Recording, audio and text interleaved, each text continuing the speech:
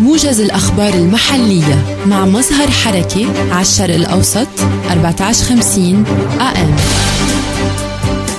لجنة شاربونو تستأنف الاستماع للشهود هذا الأسبوع قبل الذهاب في عطلة طويلة. بولين مروات تستعرض خطة الحكومة في مجال الثقافة وتدعم الفنانين. أحزاب المعارضة الفيدرالية تدعو الحكومة إلى إلغاء التعديلات على المنافع الصحية للاجئين. صباح الخير أعزائي المستمعين. أكد بالأمس أمام لجنة شاربونو متعهد البناء السابق بيير ديلوريو معرفته بوجود عمليات تواطؤ وتلفيق في عقود البناء في مدينة مونريال منذ حوالي 30 عاما وبأن الكارتيل كان محصورا بأصحاب الشركات من أصول صقلية من قبل مثل عائلة كاتانيا. وبأنه حاول تقديم عروض مناقصات ليتم التصدي له من قبل جو بياتزا وشقيقه وصولا إلى تهديده بالمكتب ولاحقا عبر حشره وصدم سيارته داخل نفق فيل ماري لمنعه من الوصول إلى مبنى البلدية لتقديم العرض الذي ذهب في النهاية إلى عائلة كاتانيا.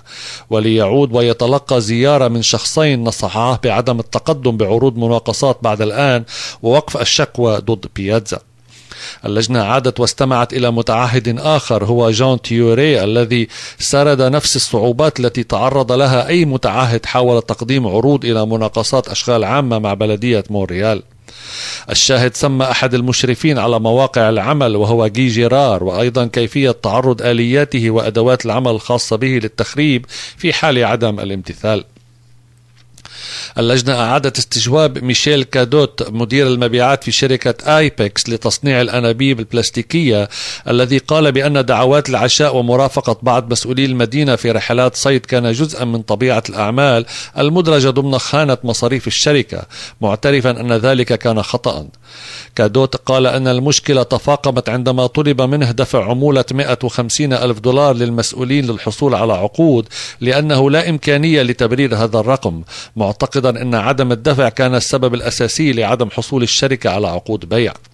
الشاهد سرد وقائع حضوره لعدة مؤتمرات جمع تبرعات لحزب أونيون مونريال ومن ثم اللقاء لقاء مع رئيس دائرة الأشغال العامة روبرت مارسيل ولاحقا باولو كاتانيا ونيكولو ميليوتو وصولا إلى إصدار الأول لتعميم لجميع المهندسين ببدء استخدام أنابيب شركة كادوت ليعود ويوقف الطلبيات بعدما رفض دفع مبلغ المائة وخمسين ألف دولار.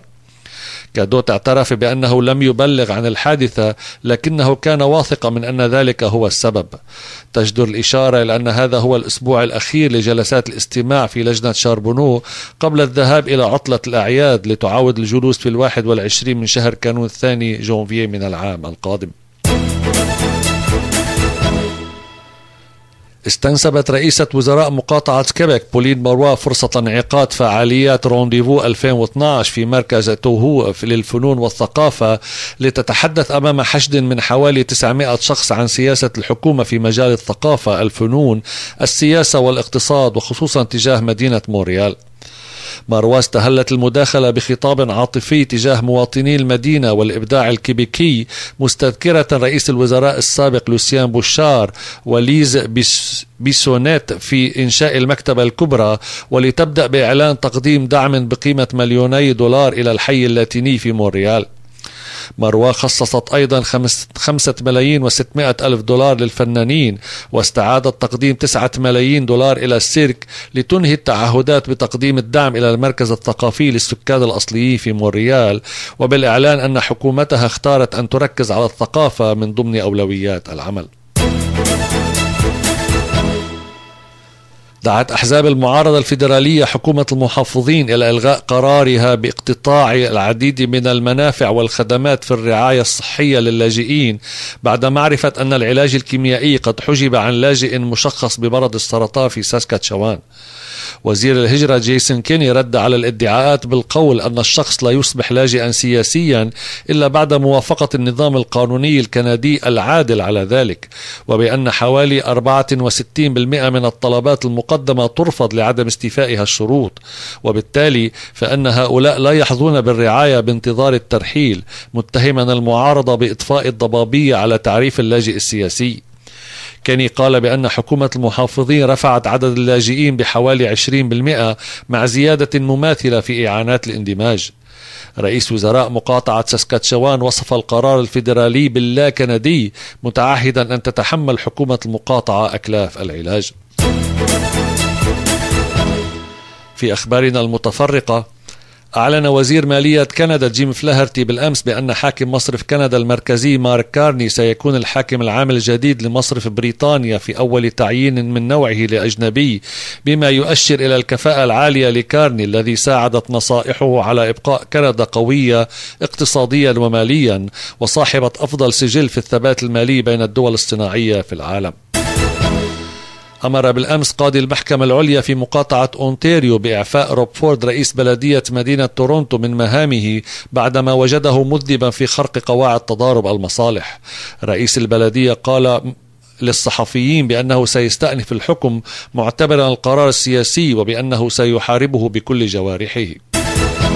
فاز مرشحان لحزب المحافظين في دائرتين فيدراليتين من أصل ثلاث جرت فيهم انتخابات فرعية بالأمس مع احتفاظ الحزب الديمقراطي الجديد بالمقعد الثالث. وبهذه النتيجة تبقى تركيبة مجلس العموم الكندي على ما هي لجهة توزع المقاعد.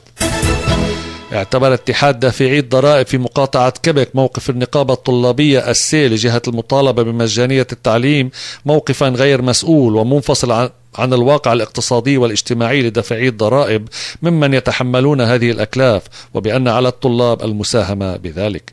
انتهت أخبارنا. شكرا لحسن المتابعة.